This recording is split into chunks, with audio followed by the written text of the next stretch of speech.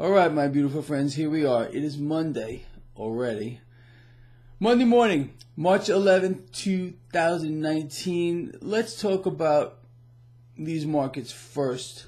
As I am doing this video blog, the Dow Jones Industrial Average alone of the three major indices is lower. Um, it's down by about 105 points, again, as I am doing this video blog. Earlier, when the market first opened, we were down about 220 something points, again, regarding the Dow. Well, Boeing is getting walloped right now uh, on the back of this latest uh, plane crash. S&P 500 is positive. NASDAQ is positive. Russell 2000 is positive. I said yesterday we were going to see a lot of effort go into propping up the stock market.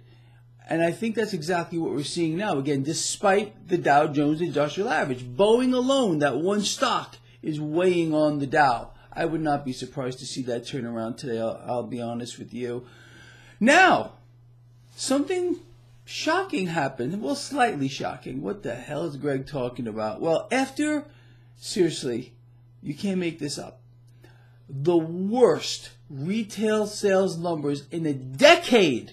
We got a fractional gain uh, today that was reported. Okay, so we got a fractional piece of, of good news.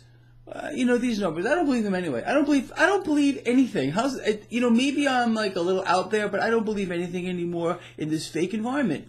I'm sorry to say, but I just don't. Um, I'm trading the fake market. I we all know what they're gonna do before they do it. That's how fake it is.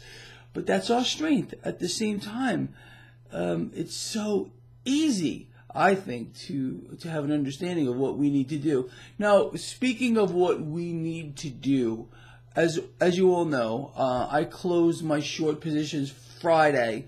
I'm in nothing right now. I'm in cash. I, I want to watch the charade play out today. I doubt I'm going to enter any new positions right now. If you notice, again, if you're watching this on my website, traderschoice.net, for which I hope you are, look at that lion's corner.